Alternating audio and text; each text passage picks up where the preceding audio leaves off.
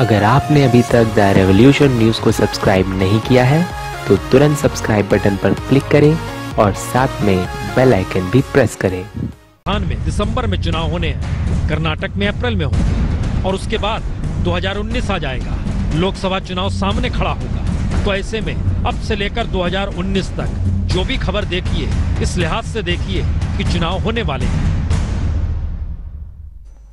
आप कह रहे होंगे, पर्दा कहाँ आया? सब कुछ तो पारदर्शी हो चला है। लेकिन आइए, पर्दे के इस पार और उस पार खड़े होकर जरा इस सच को देख लीजिए। कल तक क्या थे? आज क्या हो गए? मसला एफडीआई का है।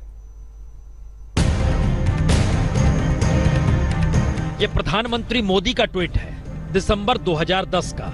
तब गुजरात के सीएम हुआ करते थे और ट्वीट एफडीआई के घोर विरोध में है। और मोदी ये कहने से उस वक्त नहीं हिचके कि कांग्रेस राष्ट्र को विदेशियों के हाथों सौंप रही है। तो ऐसे में इस ट्वीट को भी देख लीजिए यह सितंबर 2012 का है। इसमें तो एफडीआई को लेकर यहाँ तक लिख दिया गया, विदेशियों की सरकार, विदेशियों के द्वारा, विदेशियों के लिए। और ये बीजेपी नेता प्रकाश जावड़ेकर का रक्षा और टेलीकॉम क्षेत्र में एफडीआई के विरोध में किया गया 2013 का ट्वीट है। और अब 7 मार्च 2013 में रामलीला मैदान में खुदरा क्षेत्र में विदेशी निवेश का विरोध करते हुए मौजूदा वक्त के वित्त मंत्री अरुण जेटली ने तब क्या क्या कहा? इसे भी सुन लीजिए। कि और दुनिया भर का अनुभव है कि जहाँ जहाँ अंतर्राष्ट्रीय रिटेल आया है, छोटे व्यापारियों के ऊपर उसका असर पहुँचा है। यह कहना कि छोटे व्यापारी पे असर नहीं पहुंचेगा यह आर्थिक आधार पे अपने आप गलत है।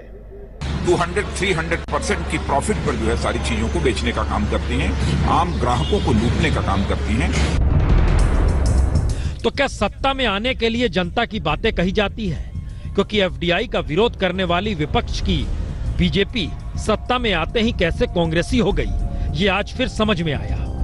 आम बजट से ठीक पहले बुधवार को, यानी आज ही, सरकार ने एफडीआई को लेकर कई बड़े फैसले किए। एयर इंडिया में उनचास फ़ीसदी एफ़ के प्रस्ताव को मंजूरी दी, कंस्ट्रक्शन क्षेत्र में 100 फ़ीसदी एफ़ को मंजूरी दी तो सिंगल ब्रांड रिटेल में 100 फ़ीसदी एफ़ को ऑटोमेटिक रूट से मंजूरी दे दी गई। हालाँकि सरकार ने 2014 में ही सिंगल ब्रांड रिटेल में 100 फ़ीसदी एफ़ को मंजूरी दी थी। हालाँकि इसके लिए सरकार से मंजूरी लेनी होती थी, लेकिन ऑटोमेटिक रूट का मतलब साफ़ है 100 फ़ीसदी एफ़ होगी। अब विदेशी कंपनियों को क्लियरेंस की प्रोसेस से नहीं गुजरना होगा। ज़ाहिर है खुदरा व्यापारी सरकार के फैसले से हैरान हैं, परेशान हैं, विरोध कर रहे हैं। देखिए जिस तरीके से आज केंद्र सरकार ने सिंगल ब्रांड रिटेल में 100 परसेंट एफ़ की जो अनुमति दी है ऑटोमेटिक रूट से वो सीधे तौर पर इस देश के छोटे व्यापारियों के ताबूत में कील ठोकने जैसा काम किया है। पर विरोध के स्वर जो भी हो, सत्ता इस देश में किसी की भी हो। अगर वैकल्पिक इकोनॉमी की समझ सत्ता सरकार को नहीं, स्वदेशी या देशी कॉरपोरेट व्यापारियों पर भरोसा नहीं तो विश्व बैंक और आईएमएफ की थ्योरी पर ही चलना होगा। पहले कांग्रेस चल रही थी, अब बीजेपी चल पड़ी है। फिर 23 जनवरी को दावोस में मोदी एंड टीम को दुनिया की जानी मानी कंपनियों के साथ बैठक करनी है। जहाँ मोदी विदेशी कंपनियों को देश में निवेश का न्योता देंगे। और बिना किसी रुकावट के विदेशी कंपनियाँ कैसे भारत में निवेश कर सकती है, उसे पारदर्शी दिखलाने की भी ज़रूरत होगी। यानी सवाल विदेशी निवेश का नहीं, एफडीआई पर नीति का है, क्योंकि रक्षा क्षेत्र से लेकर टेलीकॉम और अब रिटेल क्षेत्र तक में बीजेपी एफडीआई के मुद्दे पर यूटर्न ले चुकी है। बेहतर होगा प्रधानमंत्री चुप्पी तोड़ के बाहर जा रहे हैं, डिवोर्स कह दें कि भाई जो पहले हमने विरोध किया था, वो विरोध नहीं है और नीति देश की वही है। जिसको आने आके लगा ले। कांग्रेस जो भी कहे, पर अब मोदी सरकार को भी लगने लगा है। कांग्रेस भी यही करती थी तो एफडीआई राजनीतिक मुद्दा रहा नहीं। और रोज़गार पैदा तभी होंगे जब हर क्षेत्र में विदेशी निवेश होगा। लेकिन इस आश्रय जो असर देश के छोटे मंजोले व्यापारी, कारखाना चलाने वाले और किसानों पर पड़ेगा, उससे सरकार बेफिक्र है। या कहें बाजारों पर टिकी इकोनॉमी के सामने, इस दौर में कोई दूसरा रास्ता बच नहीं रहा। इसीलिए अब संघ परिवार के वो संगठन भी खामोश हो चले हैं, जो कल तक एफडीआई का विरोध करते थे। हो सकता है उन्हें चुप करा दिया गया हो। लेकिन एक वक्त किसानों के दर्द को समझने वाले मौजूदा वित्त मंत्री अरुण जेटली भी क्या कहा करते थे, इसे जरा सुन लीजिए। खरीदार बहुत दुकानदार होते हैं तो किसान के भी अधिकार में होता है किसको अपना सामान बेचेगा। लेकिन अगर 60-70 फ़ीसदी व्यापार दो तीन कंपनियों के हाथ में चला जाता है तो किसान के पास भी चयन करने का अधिकार नहीं होता। दर्द तो है। अनंत पटेल की यह रिपोर्ट थी लेकिन इस दर्द को हम आगे बढ़ाएँ उससे पहले। विपक्ष में थे तब क्या कहते हैं अब क्या कहते हैं एक दो नहीं दर्जनों मुद्दे हैं जरा देखिए।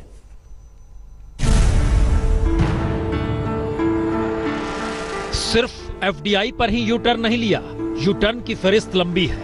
Black money GST Aadhaar card, MNREGA, भूमि अदला बदली सौदा, विमुद्रीकरण, रेल किराया। हर मुद्दे पर विपक्ष में कुछ और सत्ता में कुछ का संकट है। याद कीजिए जीएसटी का विरोध किसी और ने नहीं, बल्कि खुद प्रधानमंत्री मोदी ने गुजरात के सीएम रहते हुए किया। लेकिन अब सरकार की सबसे बड़ी उपलब्धि ही जीएसटी है। Goods and services tax GST के माध्यम से हमने देश में सैकड़ों टैक्स का जाल खत्म किया है। आधार कार्ड शुरू से बीजेपी के हिटलिस्ट में रहा। आधार कार्ड को बंद किया जाएगा। मोदी ने आधार कार्ड के खिलाफ ट्वीट किए, लेकिन आज आधार कार्ड हर सरकारी योजना के लिए अनिवार्य है। और आलम यह किसी भी सरकारी सुविधा का लाभ बिना आधार कार्ड के लेना ही मुमकिन नहीं। यही हाल मनरेगा योजना का। संसद में ही मोदी ने मनरेगा को यूपीए की विफलता का स्मारक कहा। सत्ता में तुरंत आने के बाद, लेकिन बाद में बदल गए। खूब ज़्यादा पैसे झोंक दिए, क्योंकि सरकार को लगा इसी योजना के आश्रय ज़मीन पर गरीबों को रोज़गार दिया जा सकता है। मध्यरात्रि, यानी 8 नवंबर 2016 और फिर ब्लैक मनी यानी काला धन। सरकार ने कितने यू टर्न लिए? हर किसी को याद है। पंद्रह लाख खाते में आने की बात से लेकर सौ दिन में काला धन वापस लाने जैसे वादे कोरे चुनावी साबित हुए। चुनाव से पहले कालाधन धारकों का नाम बताने का ऐलान जमकर किया गया, लेकिन सत्ता में आने के बाद आज तक कालाधन धारकों का नाम सामने आया नहीं। बीजेपी विपक्ष में थी तो बांग्लादेश के साथ स्वैपिंग ज़मीन के सौदे का जमकर विरोध किया करती थी, लेकिन बाद में सरकार ने इसी पर समझौता, इसी आधार पर कर लिया और अपनी पीठ जमकर ठोकी। रेल किराए को लेकर चुनाव के दौरान बीजेपी ने हर वक्त सरकार को उस वक्त की कटघरे में खड़ा किया, लेकिन बीते तीन बरस में किराया बढ़ता ही चला गया। और तो और, आधुनिकतम तकनीक तक लगा दी गई कि जब टिकट जिस स्थिति में ली जाएगा, किराया खुद ब खुद बढ़ा हुआ दिखाई देगा। और जिस नोटबंदी को लेकर प्रधानमंत्री अब पीठ ठोकते रहे, उस नोटबंदी की एक झलक यूपीए ने भी दिखाने की कोशिश की थी। 2005 के पहले जारी किए गए मुद्रा नोटों को वापस लेने का प्रस्ताव किया तो बीजेपी ने क्या क्या कहा? जरा सुन लीजिए। नई पॉलिसी लाई गई है, जिसमें 2005 से पहले के नोटों को करेंसी नोटों को विड्रॉ करने का विषय आज की सरकार लेकर आई है। कहीं ना कहीं ये विषय जो बहुत बड़ा मुद्दा है काले धन का, उसको भ्रमित करने के लिए लाया गया है। क्योंकि इससे एक तरफ़ किसान है, दूसरी तरफ़ कॉरपोरेट है। बीच में इकोनॉमी है। आइए इस पर्दे के आर पार देख लिया जाए।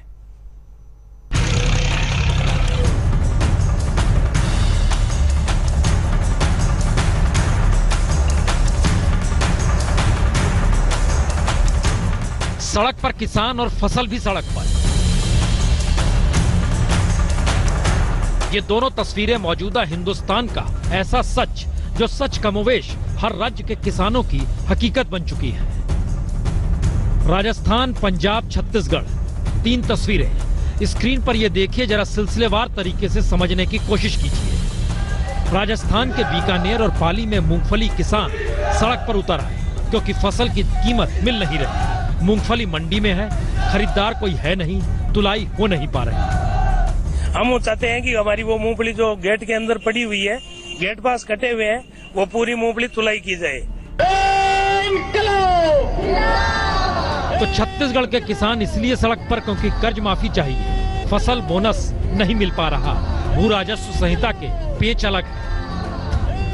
तो ऐसे में इनसे मिल लीजिए यह है पंजाब के संगरूर के किसान जसवीर सिंह। सरकार ने दो दो लाख रुपए की कर्ज माफ़ी का ऐलान कर अपनी पीठ ठोक ली है लेकिन जसवीर सिंह को फकत पाँच रुपए कर्ज माफ़ी हुई है। जी ठीक सुना आपने पाँच रुपए।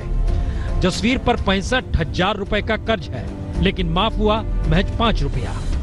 साठ हज़ार रुपया मेरा कर्जा मेरा कर्जा माफ़ नहीं हुआ फिर तो साढ़े पाँच रुपया कर्जा माफ़ हो गया। और जसवीर इकलौते किसान नहीं कुछ किसानों को सात रुपए तो कुछ को एक सौ दो सौ रुपए। तो किसानों के लिए बैंक राहत देने को तैयार नहीं और कॉरपोरेट के लिए बैंक से राहत के रास्ते खुद सरकार ही बना रही है।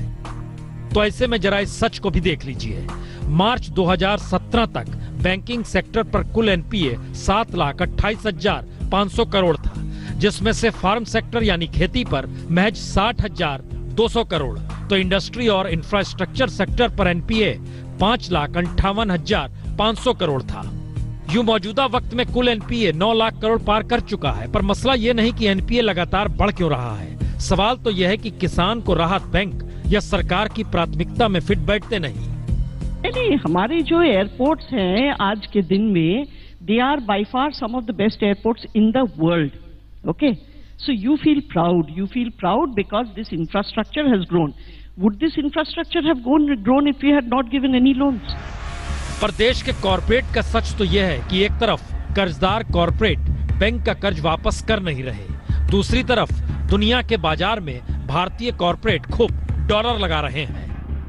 मसलन भारतीय कॉरपोरेट कंपनियों ने सितंबर 2017 में 2,654.45 मिलियन डॉलर लगाया यानी तकरीबन 16,960 करोड़ रुपए विश्व बाज़ार में भारतीयों की कंपनियों ने लगा दिए। इसी तरह अक्टूबर 2017 में 1,350 तिरानवे मिलियन डॉलर लगाए गए यानी तकरीबन 8,640 करोड़ रुपए विश्व बाज़ार में भारत के कॉरपोरेट ने लगा दिए। तो कैसे भारतीय कॉरपोरेट अपना पैसा विदेशों में लगा रहा है और विदेशी निवेश को लेकर प्रधानमंत्री अपनी पीठ ठोक रहे हैं? पहले जरा इसे सुन लीजिए। इस साल 2016-17 में 16-17 में 60 बिलियन डॉलर्स का अभूतपूर्व एफडीआई भारत में आया। तो प्रधानमंत्री के मुताबिक 2016-17 में तीन लाख चौरासी हज़ार करोड़ का रिकॉर्ड विदेशी निवेश हुआ और आरबीआई के मुताबिक 2016-17 में एक लाख उनचालीस हज़ार करोड़ से ज़्यादा भारतीय कंपनियों ने विदेश में निवेश किया। तो आखिरी सवाल यही है, देश के कॉरपोरेट देश की कंपनियाँ, देश का किसान और देश के बैंक खुद को लेकर इतने अंतर्विरोध में क्यों फंसे हुए हैं? और विदेशी निवेश से लेकर एफडीआई के मद्देनजर भारत दुनिया को क्यों देख रहा है? खुद अपने देश को क्यों नहीं देखता? और ऐसे में एक तस्वीर हम आपको दिखलाते हैं, कितना पैसा बाहर गया। भारत से पैसा हर महीने जिस रूप में जा रहा है, उसकी तस्वीर आपकी स्क्रीन पर उभरती चली जा रही है। जरा देखने की कोशिश कीजिए, एक लाख उनचालीस हज़ार करोड़ से ज़्यादा की रकम। तो आज वक्त नहीं तो गाना नहीं, दस्तक में इतना ही।